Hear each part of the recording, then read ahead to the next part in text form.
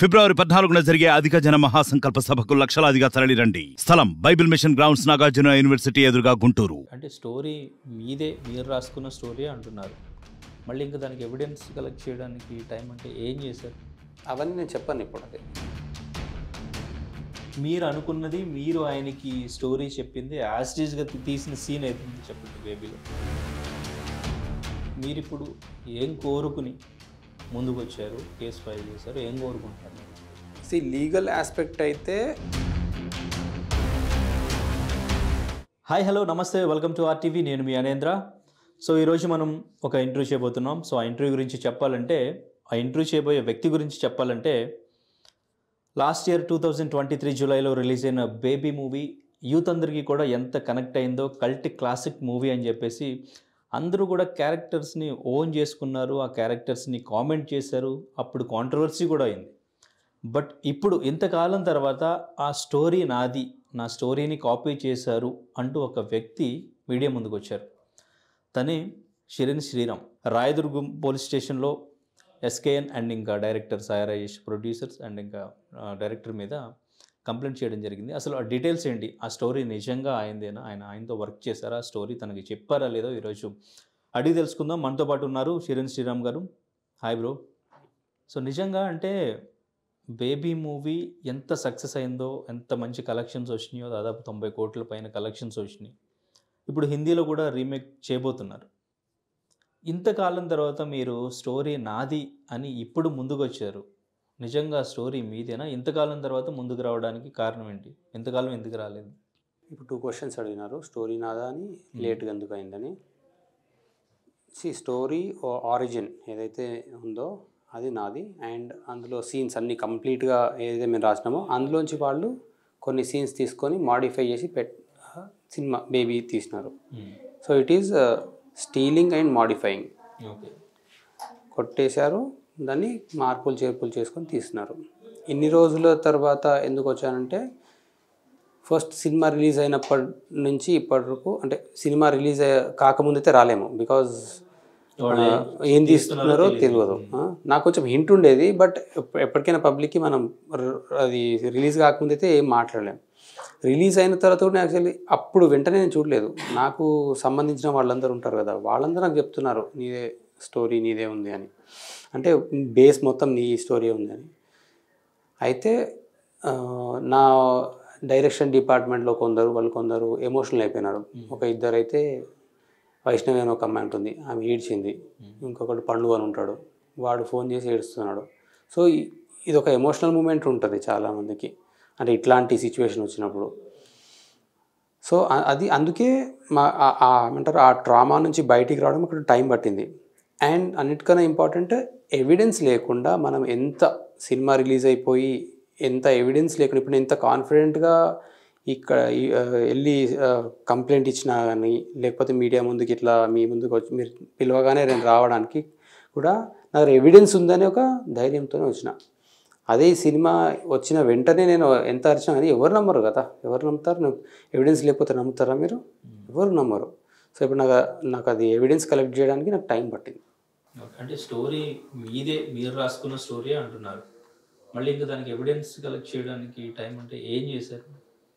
Evidence ఏముందని నేను చెప్పను కానీ ఇది టూ థౌజండ్ ఫిఫ్టీన్లో రాసినాం కాబట్టి మా అసోసియేషన్ ఎస్టాబ్లిష్ చేయాలి కదా. మాకు వాళ్ళకి ఏం అసోసియేషన్ ఉంది నేను ఎన్ని ఎన్ని రోజులు వర్క్ చేసినాను. ఎందుకంటే ఇప్పుడు ఎగ్జాంపుల్ వా నేను వాళ్ళతో వాళ్ళకి నోటీస్ పంపినప్పుడు వన్ ఇయర్ వర్క్ చేసిన అని చెప్పిన. వాళ్ళు సిక్స్ మంత్స్ చేసిన అన్నారు. సో ఇప్పుడు నేను ప్రూవ్ చేయాలి కదా. అట్లాంటి వాళ్ళు ట్వంటీ వాళ్ళు ఏంటిది ట్వంటీ ట్వంటీలో స్టోరీ రిజిస్టర్ చేసిన అంటున్నారు. నేను అంతకుముందే రాసిన నేను ఇది ఎవిడెన్స్ వెతకాలి కదా ఇక్కడ. అంటే ట్వంటీ టూ టూ థౌజండ్ ఫిఫ్టీన్లో నా టీమ్ సిక్స్ పీపుల్ ఉన్నారు. వాళ్ళందరి గురించి నేను బయటికి తీసి ఇవన్నీ అంటే వాళ్ళ పర్మిషన్స్ తీసుకొని ఇవన్నీ చేయడానికి టైం పడుతుంది. అందుకే ఏమంటా ఎవిడెన్స్ ఎప్పుడైతే బయటికి వస్తుందో అప్పుడు మీకు అర్థమవుతుంది ఎందుకు లేట్ అయిందో. ఓకే. ఆ ఎవిడెన్స్ చూస్తే మీకు అర్థమవుతుంది ఓ ఎందుకు ఇది చేయాలంటే సాలిడ్ ఇది ఉండాలి అని అని. ఓకే. కానీ అంటే మీ స్టోరీని తీసుకుని మార్పులు చేర్పులు చేశారని చెప్పారు. ఇప్పుడు ఆ స్టోరీ బేసిక్గా అంటే ఎవ్వరు ఆలోచించలేని ఒక కొత్త పాయింట్ అంటారా? యాక్చువల్ నేను అంటే నేను ఇది మరీ ఎట్లా అంటే ఏమంటారు? ఏదో స్పైడర్ మ్యాన్ అవతార్ లేకపోతే ఏంటి కాశ్మీర్ ఫైల్స్ ఇంత పెద్ద కాన్సెప్ట్ అయితే కాదు. కానీ ఈ బస్తీ అమ్మాయి ఇద్దరు లవ్ చేయడం అనేది నేను అంతకుముందు ఎప్పుడు గమనించలేదు. మన బస్తీ అమ్మాయి లవ్ స్టోరీ అనేది మనం చూసుంటాం. ఇప్పుడు ప్రేమిస్తే అని ఒక సినిమా ఉంది ఇట్లా చాలా ఉంటాయి. కానీ బస్తీ అమ్మాయి ఇద్దరిని లవ్ చేసి చీట్ చేయడము లేకపోతే ఆ ట్రాప్లో పడడం లవ్ ట్రాప్లో పడడం ట్రయాంగిల్ అనేది నాకు ఎక్కువ కనిపించలేదు. ఏమైనా ఉంటే మరి నాకు తెలియదు నాకైతే అది కొత్తగా అనిపించింది. ఓకే. సో అది టూ థౌజండ్ ఫిఫ్టీన్లో నేను తమిళనాడులో ఒక జరిగిన ఒక ఇన్సిడెంట్ తీసుకొని దాని మీద స్టోరీ రాయడం స్టార్ట్ చేసి సిక్స్టీ సీన్స్ ఆయనకు చెప్పిన. ఓకే చెప్పిన తర్వాత ఆయన ప్రొడ్యూస్ చేస్తాను అక్కడి నుంచి స్టార్ట్ అయింది. ఓకే తమిళనాడులో ఇన్సిడెంట్ అన్నారు కదా. సో ఇంతకుముందు నేను సాయి రాజేష్ గారిని ఇంటర్వ్యూ చేసినప్పుడు కూడా ఆయన ఒక ఇన్సిడెంట్ చెప్పారు. So ఏంటి మీ మీరు చూసిన ఇన్సిడెంట్ ఏంటి? నేను చూసింది ఒక మర్డర్ అది అది ఒక వాట్సాప్ అండ్ ఫేస్బుక్ ఫేస్బుక్లో వైరల్ అయిన ఒక ఇన్సిడెంట్. అది నిజంగా జరిగిందా లేదా కూడా అసలు యాక్చువల్లీ ఎవరు తెలియదు అది ఎందుకంటే అందులో ఉన్న అమ్మాయి ఆ ఏదైతే ఆ బ్రూటల్గా మర్డర్ అయిన పిక్చర్స్ ఉంటాయి కదా అది ఇది ఒకటి కాదంటారు కొందరు. నేను అక్కడ కూడా తెలుసుకోవడానికి ట్రై చేసిన.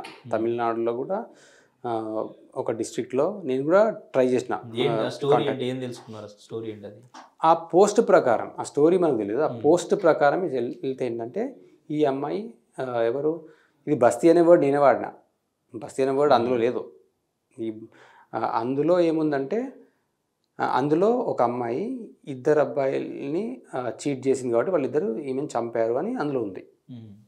నా ఫిలింలో కూడా ఆల్మోస్ట్ అట్లే ఉంటుంది. ఇప్పుడు ఈవెన్ బేబీ మూవీలో కూడా అది ఉండదు. ఈ స్టోరీలో ఉండదు. ఆయన కూడా అదే ఇన్స్పైర్ అయిన అన్నారు కదా బేబీ మూవీలో నాది యాక్చువల్లీ దానికి చాలా దగ్గర ఉంటుంది. Because that brutal incident is there in my film.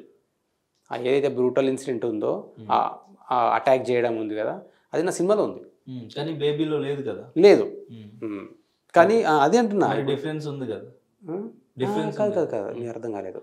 ఇప్పుడు నేను ఆ కథను తీసుకొని ఇన్స్పైర్ అయ్యి ఒకటి ఏమంటారు అంటే బ్రూటల్ బ్రూటాలిటీ అనేది క్లైమాక్స్. ఓకేనా? క్లైమాక్స్ నేను చెప్పలేదు ఆయనకు. నేను క్లైమాక్స్ అంటే చెప్పలేదు ఆయనకు. అప్పుడు ఏదో వేరే క్లైమాక్స్ ఉండేది నేను బయటకు వచ్చాక ఇంకో క్లైమాక్స్. మళ్ళీ నేను షూటింగ్ అయ్యేటప్పుడు ఇంకొంచెం చిన్నగా మార్చాను. దాన్ని కొంచెం లిఫ్ట్ చేయడానికి. సో సీన్స్ ఉంటాయి కదా. ఏమంటారు? దా దాని నుంచి వచ్చిన ఇప్పుడు అందుకే చెప్పినా కదా నేను అది నాకు సోర్స్ అంతే.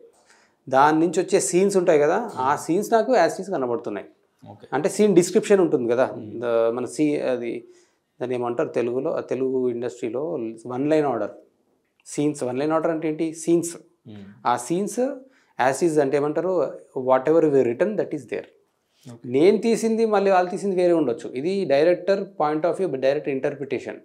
కానీ సీన్ అంటాం కదా సీన్ అంటే girl goes to the pub అని రాస్తాము. వాళ్ళు వేరేలాగా తీసి ఉండొచ్చు బట్ పాయింట్ అదే కదా. ఆ, అట్లాంటివి ఉన్నాయి సేమ్. సాయి రాజేష్ గారికి మీకు అసలు సంబంధం ఏంటి? నాకు టూ థౌజండ్ నాకు ఎగ్జాక్ట్ డేట్ తెలియదు but రఫ్లీ I think two thousand twelve thirteen ఈ టైంలో నాకు మహేష్ కత్తి అని ఒక ఫిలిం మేకర్ ఉండేట ఆయన క్రిటిక్. ఆయన నాకు పరిచయం చేశారు. ఏంటిదంటే ఆయన హృదయకాలయం అని ఒక మూవీ తీస్తున్నారు. దానికి సినిమాటోగ్రఫీ చేయాలని. ఎందుకంటే ఆయనది ఇండిపెండెంట్గా తీస్తున్నారు. సో ఇండిపెండెంట్ ఫిలిం మేకర్స్కి అది అర్థమవుతుంది ఆ కాన్సెప్ట్. అండ్ వాళ్ళే కొంచెం దాన్ని ఏమంటారు? ఆ లో బడ్జెట్లో కానీ మంచి క్వాలిటీలో తీయగలుగుతారని నేను నమ్మిండ్రు అప్పుడు అప్పుడు నన్ను అప్రోచ్ అయ్యింది ఎందుకంటే షార్ట్ ఫిల్మ్స్లో నా సి నా ఫిల్మ్స్కి నేనే సినిమాటోగ్రఫీ చేసుకునేవాడు అనమాట నన్ను అప్రోచ్ అయితే నేను ఆ సినిమాటోగ్రఫీ చేయను అన్నాను. ఎందుకంటే నాకు సినిమాటోగ్రఫీ అంత గ్రిప్ లేదు.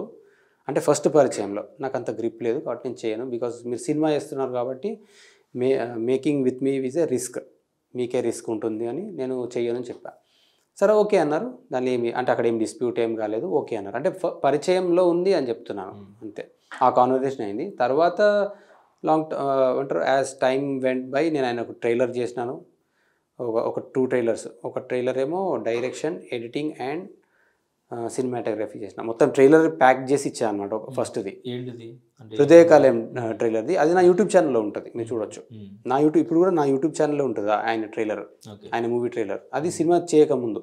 సినిమా చేసిన తర్వాత ఒక ట్రైలర్ ఎడిట్ చేసిన ఆయన మూవీ విజువల్స్లో హృదయకాలయం అది మా అసోసియేషన్ సో ఈ అసోసియేషన్ తర్వాత నేను స్క్రిప్ట్ నరేట్ చేయడం జరిగింది. అంటే స్టోరీ నరేట్ చేయడం జరిగింది.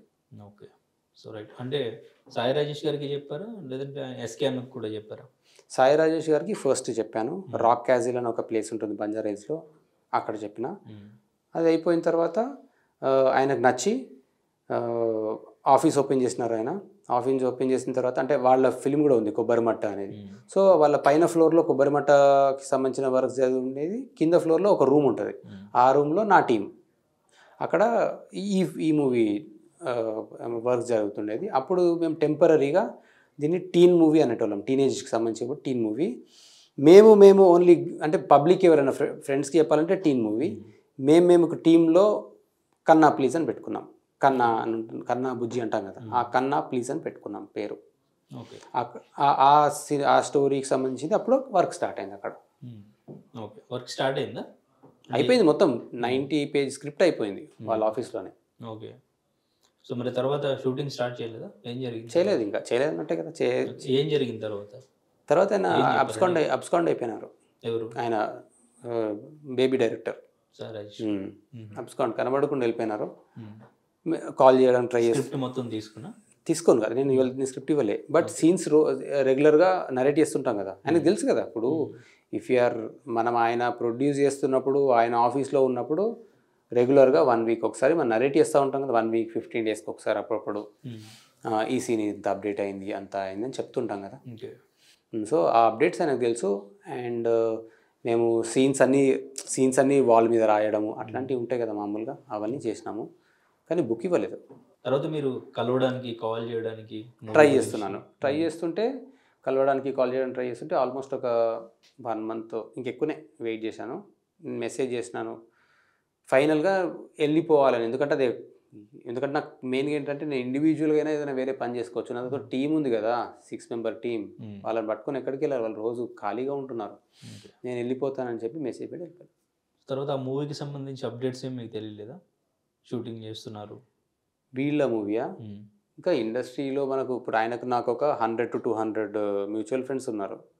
ఇంకెక్కువనే ఉన్నారు కావచ్చు నాకు తెలియదు. థౌజండ్ కూడా ఉండొచ్చు చెప్పలేము నేను చాలా తక్కువ చెప్తున్నా. ఎవరెవరు చెప్తారు కదా ఇది సినిమా స్టార్ట్ అవుతుంది అది అని. స్టోరీ మీరు ఎక్కడ రిజిస్టర్ చేసుకోలేదా? అవన్నీ నేను చెప్పాను ఇప్పుడు అది. Evidence anything that is related to evidence అవి నేను చెప్పాను ఇప్పుడు. అది నేను ఎవిడెన్స్ రివీల్ చేసినప్పుడు అన్నీ చెప్పేస్తా. ఓకే. అంటే ఇప్పుడు రైటర్స్ అసోసియేషన్లో రిజిస్టర్ చేసుకుంటే వాళ్ళ సపోర్ట్ కూడా ఉంటుంది. సో దాని ద్వారా మనం కేసు ఫైల్ చేసినా దేనికైనా సపోర్ట్ ఉంటుంది. వాళ్ళంతా కలిసి అప్పుడు మీరు రిజిస్టర్ చేసిన స్టోరీని చూసి తర్వాత వాళ్ళు తీసిన మూవీని వాళ్ళ స్క్రిప్ట్ని ఇవన్నీ కూడా. కంపేర్ చేసి చూసిన తర్వాతే అది ఫైనల్గా అది కాపీ చేస్తారా లేదా ఏంటనేది డిసైడ్ అవుతుంది అప్పుడు కేసు వరకైనా కోర్టు వరకైనా ఎక్కడి వరకైనా వెళ్ళడానికి ఛాన్స్ ఉంటుంది అది నిజమే కదా మరి. కరెక్టే అది. ఇప్పుడు నేనేంటంటే ఇప్పుడు ఫిలిం ఇండస్ట్రీని అప్రోచ్ కాలేదు నేను సో నేను పోలీస్ని అప్రోచ్ అయినా. సో వాళ్ళకి సాటిస్ఫాక్టరీ ఎవిడెన్స్ అనిపిస్తే వెదర్ ఇట్ ఈస్ అది రైటర్ అసోసియేషన్ కానివ్వండి ఇంకేదైనా కానీ వాళ్ళకి సాటిస్ఫాక్టరీ అనిపిస్తే వాళ్ళు యాక్షన్ తీసుకుంటారు. Okay it is up to them అందుకే రిజిస్టర్ చేసినారు కదా. వాళ్ళు అవన్నీ చూసే రిజిస్టర్ చేసినారు కదా. అంటే మీ స్టోరీ గురించి మీరు ఎవిడెన్స్ ఇచ్చి మనం కేసు ఫైల్ చేయడానికి పర్ఫెక్ట్ ఎవిడెన్స్ కోసం ఎంతకాలం వెయిట్ చేశారా? Yes okay evidences the word evidences multiple so అవన్నీ కూడా అక్కడ సబ్మిట్ చేశారా? పార్షల్. చేసినా నెక్స్ట్ మళ్ళీ చేస్తాం. ఫుల్ స్టేషన్లో సబ్మిట్ చేశారు. పార్షల్ నెక్స్ట్ ఫుల్ చేస్తాం. సో అంటే మీరు ఎప్పుడు కేసు ఫైల్ చేశారు? అక్కడ ఏ కేసు ఫైల్ చేశారు? అండ్ ఇంకా తర్వాత వాళ్ళు ఇన్వెస్టిగేషన్ అంటే ఎన్ని రోజులు పట్టింది? ఏం చేశారు? నేను లీగల్ టర్మ్స్ చెప్పాను బట్ ఏమంటారు అంటే ఇట్లా నాకు చీటింగ్ జరిగింది అని చెప్పినాను లీగల్ టర్మినల్ చెప్పాను నేను. సబ్ టు ద లాయర్ అంటే మీకు అర్థమవుతుంది కదా అక్కడ? క్రిమినల్ కేసు ఫోర్ ట్వంటీ పెట్టారా? లేకపోతే ఏ కేసు ఫైల్ సెక్షన్స్ అన్ని ఉన్నాయి ఫోర్ ట్వంటీ ఉంది. Hmm. ఆ సెక్షన్స్ అన్ని ఉన్నాయి. అది నేను only I'm leaving up to the lawyer. And director ఇద్దరి మీద? అవును. టీం మీద ఇంకెవరి మీద? లేదు. సో మీరు వెళ్ళి కంప్లైంట్ చేసిన తర్వాత వాళ్ళు ఇన్వెస్టిగేషన్ ఎన్ని రోజులు చేశారు? ఇన్వెస్టిగేషన్ ఫైనల్కి మీకు అప్డేట్ ఏమి ఇచ్చారు? వాళ్ళతో ఏమైనా మాట్లాడారా? ఎవరితో డైరెక్టర్తో కానీ ప్రొడ్యూసర్తో కానీ అప్పుడు ఫస్ట్ నోటీస్ పంపినాం కదా మేము. కేసు పెట్టకముందు అంటే కేసు ఫైల్ చేయకముందు నోటీస్ పంపినాము. నోటీస్ పంపితే నోటీస్కి రిప్లై వచ్చింది. మరి. దీనికి ఒక వన్ మంత్ అవుతుంది. ఇప్పుడు నేను డిసెంబర్ ఎండ్లో అట్లా పంపిన. ఇప్పుడు అందరు లేట్గా వచ్చినా అంటున్నారు కదా. డిసెంబర్ ఎండ్ వరకే నేను పంపించినాము. అప్పటి నుంచి ఎవరు చెప్పలేదు నేను మరి. మా టీంలో కూడా ఎవరికి తెలియదు. నా టీంలో వాళ్ళకు కూడా ఎవరికి ఐడియా లేదు. అప్పుడు నేను పంపిన వాళ్ళకి. ఓకే. పంప్ అంటే ఇప్పుడు ఏదైతే సిక్స్ మంత్స్ ముందు సినిమా వచ్చింది అంటున్నారో సిక్స్ మంత్స్ అంటే ఫోర్ మంత్స్ అనుకోండి. అంటే డిసెంబర్లోనే పంపిన పంపినాక వాళ్ళు మాకు రిప్లై ఇచ్చినారు. మేము చేయలేదు అని. సో డినై చార్జెస్ డినై అటువైపు నుంచి రిప్లై వచ్చింది. రిప్లై వచ్చింది. కాపీ చేయలేదని వచ్చింది. ఆయనే మా ఆయనే మా కథ చెప్పినా అని చెప్తున్నాడు అందులో. మీరు కథ చెప్పారా? ఆయనే నా కథ చెప్పినాడంట.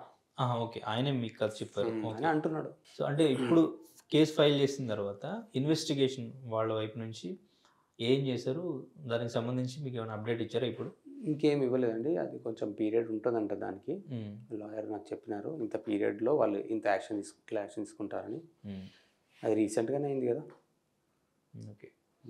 మీరు మీరు అనుకున్న స్టోరీని షూటింగ్ అనేది స్టార్ట్ చేశారా? నా సినిమా అయిపోయింది.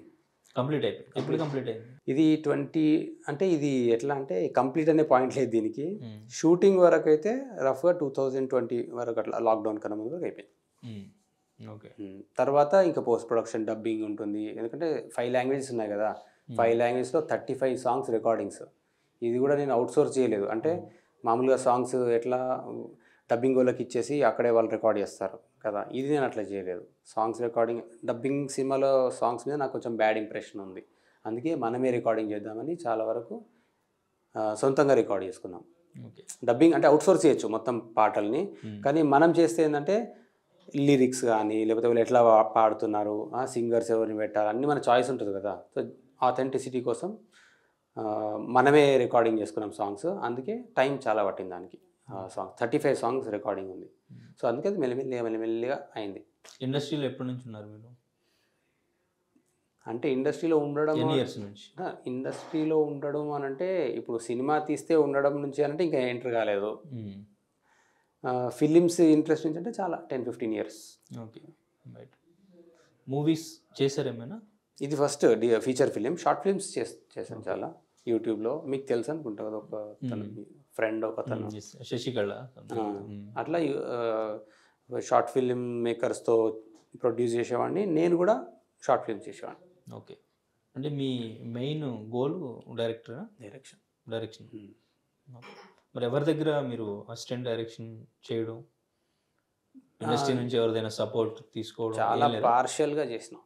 పార్షియల్గా అంటే ఏమంటారు just running around works AD లాగా చేయలేదు.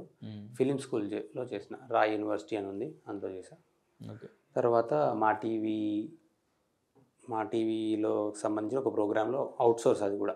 అంటే మా టీవీలోకి అవుట్ సోర్స్ చేసేది అందులో చేశాను ఓకే. ఎక్కువ షార్ట్ ఫిల్మ్స్ మీదనే ఎక్కువ. టైం. మీ మూవీ ట్వంటీలో కంప్లీట్ అయిపోయింది కదా ఇది? అంటే అదే షూట్ వరకు. బేబీ కూడా ఆల్మోస్ట్ ఒక టూ ఇయర్స్ పట్టినట్టుంది మూవీకి. Twenty making twenty. ఉండొచ్చు ఉండొచ్చు. బట్ సో రిలీజ్ అయిన తర్వాత మీరు ఎన్ని రోజులకి మూవీ చూసారు బేబీ గుర్తులేదు. కొంచెం కొంచెం కొంచెం కొంచెం అట్లా.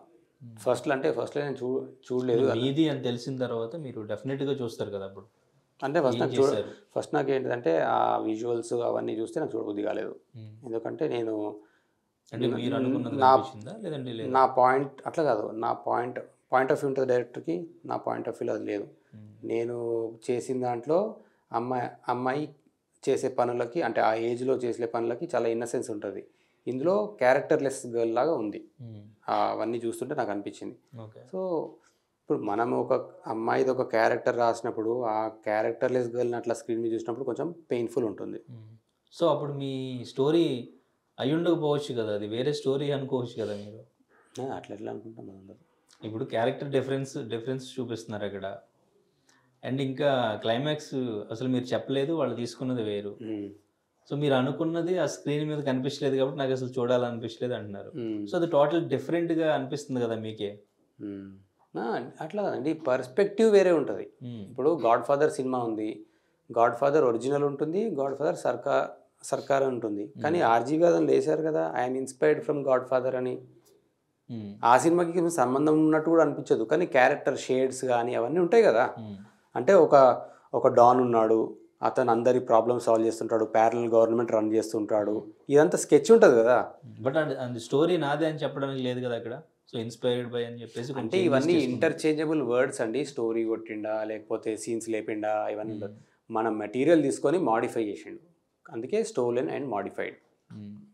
ఓకే దానికి పర్ఫెక్ట్ ఎవిడెన్సెస్ అనేవి మీరు చూపించారు కాబట్టి అక్కడ కేస్ ఫైల్ అయిందా? ఉమ్. అంతేనా? Okay right. అంటే ఇప్పుడు మీరు సరే సినిమా రిలీజ్ అయిపోయింది మీ మూవీ కూడా షూటింగ్ అయిపోయింది సో ఆల్రెడీ అక్కడ చూడాల్సిన కంటెంట్ మీరు లైన్ అనుకున్న లైన్ అయితే వాళ్ళ పర్ఫెక్షన్లో వాళ్ళు తీశారు. ఎంత పర్ఫెక్ట్గా తీయగలం వాళ్ళు క్యారెక్టర్ని ఎట్లా చూపించాలి ఇప్పుడు జనరేషన్కి అన్నట్టు వాళ్ళు తీసి చూపించారు. మీరు తీసేది మీరు అనుకున్నది మీరు తీశారు. పాన్ ఇండియాగా చూపించాలని మీరు అనుకున్నారు. ఇప్పుడు సినిమా రిలీజ్ అయిపోయింది. ఇప్పుడు మీరు ఈ మూవీని ఏం చేద్దాం అనుకుంటున్నారు? ఏది? మీరు తీస్తున్న మూవీ. మనం మూవీ రిలీజ్ చేస్తాము. మన మూవీ రిలీజ్ చేస్తాము. సో మూవీ తీసినప్పుడు రిలీజ్ చేస్తాము. చేద్దాం అనుకున్నానంటే అర్థం కాలేదు నాకు. అంటే మీ మూవీ షూటింగ్ కంప్లీట్ అయిపోయింది కదా? అవును. సో కానీ మీరు అనుకున్న లైన్ బేబీలో ఉందంటున్నారు. లైన్ మొత్తం అదే అంటున్నారు కదా. సో ఈ లైన్ ఆల్రెడీ చూసేశారు కదా. ఇప్పుడు మూవీని మీరు రిలీజ్ చేస్తారా? లేదా మీరు స్టోరీ ఏమైనా చేంజ్ చేసుకుంటారా? ఎట్లా? ఓకే. ఆ, ఏం చేంజ్ చేయమండి. ఎందుకంటే నేను చెప్పాను ఇంతకుముందు డైరెక్టర్ది పర్స్పెక్టివ్ ఉంటుంది కదా. ఆ పర్స్పెక్టివ్ ఒక్కసారి సినిమా చూడడం స్టార్ట్ చేస్తే అది ఇన్వాల్వ్ అయిపోతారు జనాలు దాంట్లో. సో. దాని షేడ్స్ ఏమి కొట్టవు. ఓకే. అంటే మీ పర్సెప్షన్ ఏదైతే ఉందో అది మీ స్టోరీ లైన్లో ఉంది ఉంది. సో మీ స్టోరీ మీ దగ్గర ఉంది. అది మీరు చూపించగలరు. అర్థం కాలేదు. మీ స్టోరీ మీ దగ్గర ఉంది. మీరు దాన్ని చూపించగలరు. ఆల్రెడీ ఇప్పుడు బేబీ వచ్చినా కానీ. అది వాళ్ళ పర్సెప్షన్ అంతే. మీది కాదు. అంతే. సో మీ పర్సెప్షన్ మీ దగ్గర ఉంది అవును. సో ఇంకా మీకు ప్రాబ్లం ఏంటి? అదేంటి నాకు అర్థం ఇప్పుడు మనకు ఇప్పుడు వాళ్ళ పర్సెప్షన్ ఇప్పుడు మీరు అనుకున్న లైన్ ఒకటే. ఇప్పుడు వాళ్ళ మీ అర్థమైంది. నాకు. అర్థమైంది. ఇప్పుడు ఇదేదో ఇది భగత్ సింగ్ మహాత్మా గాంధీ కథ కాదు. నీ. నీ యాంగిల్లో నువ్వు తీసుకో నా యాంగిల్లో నువ్వు తీసుకుంటా అట్లా కాదు ఇది. ఇది ఫస్ట్ నేను ఆరిజిన్ చేసిన తర్వాత దాని నుంచి తీసుకునే కథ. నా నా సినిమా అయిపోయి రిలీజ్ అయిపోయాక అరే ఈ సినిమా బాగుంది మన యాంగిల్లో మనం తీద్దాం ఇది ఇన్సిడెంట్స్ అంటే బాగుంటుంది. ఇప్పుడు ఏమనుకుంటారు అందరూ అది ఒరిజినల్ నేను డూప్లికేట్ అనుకుంటారు సీన్స్ ఏమైనా మ్యాచ్ అయితే. అంతే కదా దాని నుంచి ఇన్స్పైర్ అనుకుంటారు అది నాకు వద్దు నేను ఒరిజినల్ నేను. అర్థమైంది పాయింట్ బట్ పబ్లిక్లో ఇప్పుడు ఒరిజినల్ అనుకున్నా ఒకవేళ వాళ్ళే కాపీ చేశారు అనుకున్నా. ఒకసారి ఆడియన్స్ కంటెంట్ని చూసిన తర్వాత మళ్ళీ అదే చూస్తారా చూసినా ఆ ఫీలింగ్ రాదు కదా. రాదు. సో ఒకవేళ ఇప్పుడు మీరు ప్రూవ్ చేసుకున్న ఎవిడెన్సెస్ స్టోరీ నాదే అని చెప్పేసి. ఆల్రెడీ ఆ లైన్ చూశారు కాబట్టి మీ లైన్ చూసినప్పుడు ఆ ఫ్రెష్ ఫీలింగ్ అనేది రాదు కదా. వస్తుంది. అదే డైరెక్టర్ పర్స్పెక్టివ్.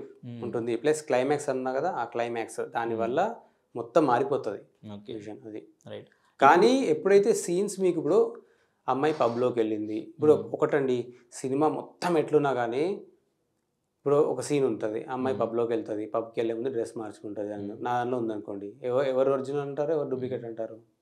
అంతే కదా? ఆ మార్క్ నాకు వద్దు మీరు అనుకున్నది మీరు ఆయనకి స్టోరీ చెప్పింది యాజ్గా తీ- తీసిన సీన్ ఏది ఉంది చెప్పండి బేబీలో?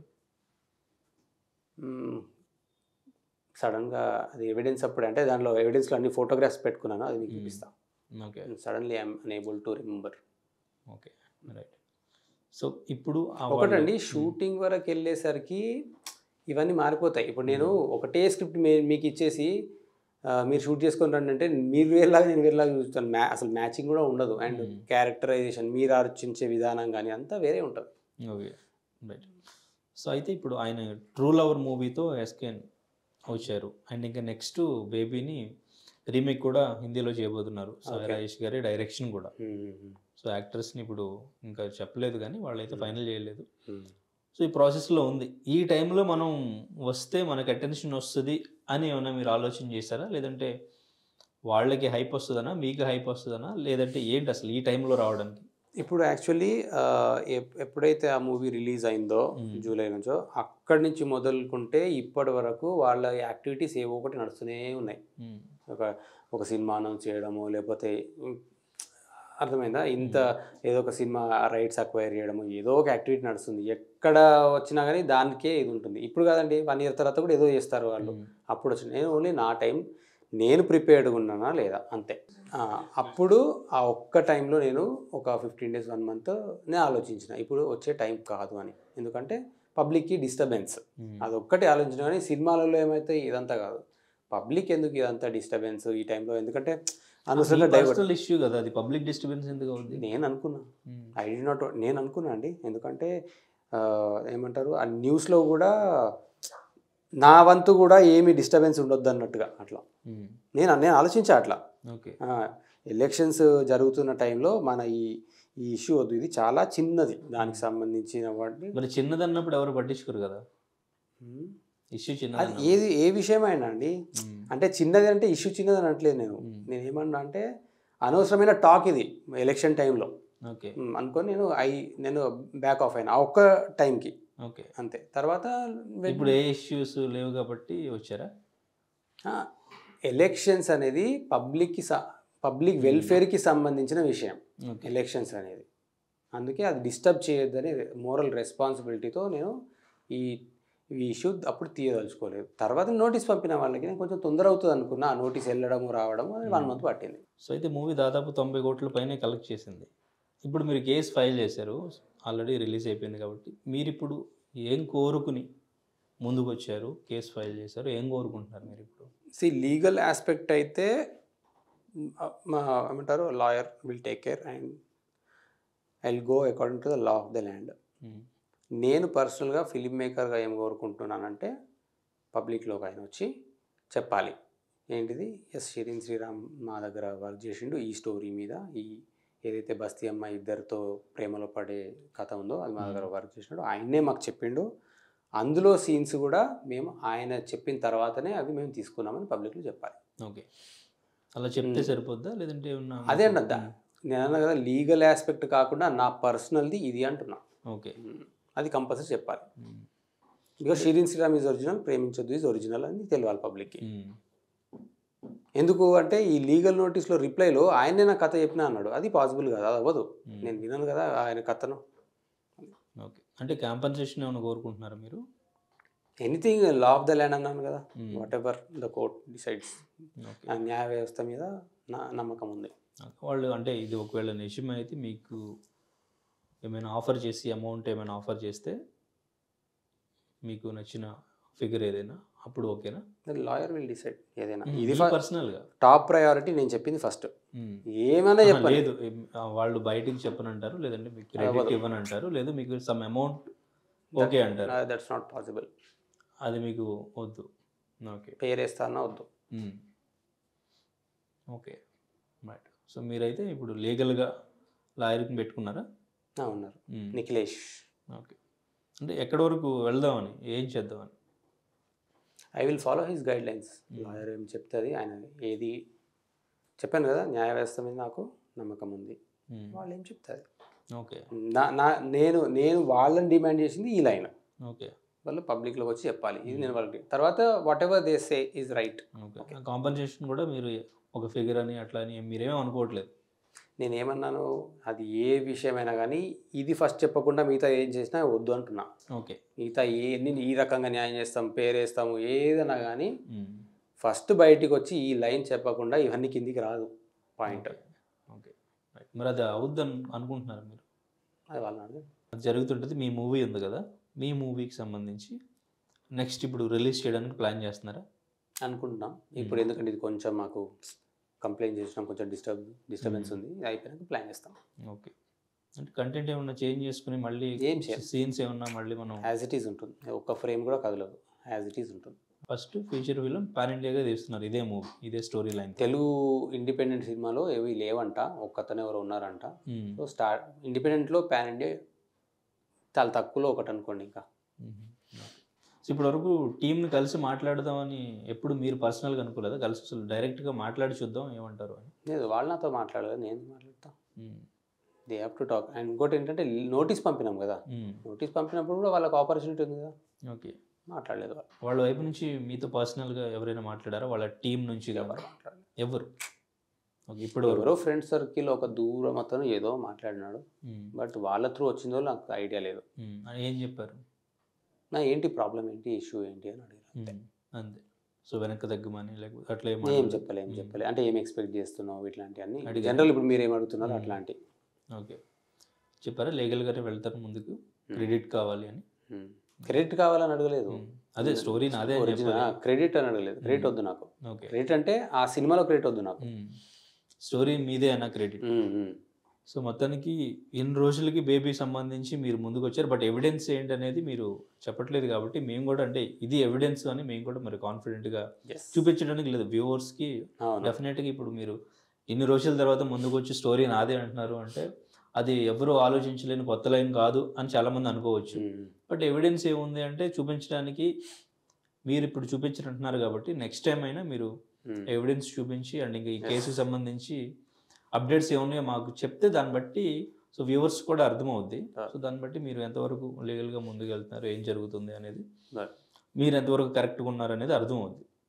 సో ప్రజెంట్ అయితే మీరు చెప్పిన దాని మీదే వ్యూవర్స్ కూడా సో మొత్తం కాంట్రవర్సీ మీదే అవుతుంది స్టోరీకి సంబంధించి కాపీ చేశారు criminal case file responsibility responsibility నా మీద అవుతుంది ఎస్ ఓకే కేసు కూడా ఫైల్ అయింది అంటే సో ఎవిడెన్సెస్ మీరు ఎవిడెన్స్ రెస్పాన్సిబిలిటీ నా. మీదనే. ఉంటుంది రైట్ ఎనీవేస్ మీరైతే ఇప్పుడు ముందుకు వచ్చి పోరాడుతున్నారు. మరి ఇది మేబీ మీకు మంచి జరిగేలా ఉంటే ఆ స్టోరీ మీదే అయి ఉంటే డెఫినెట్గా మంచి జరుగుద్ది.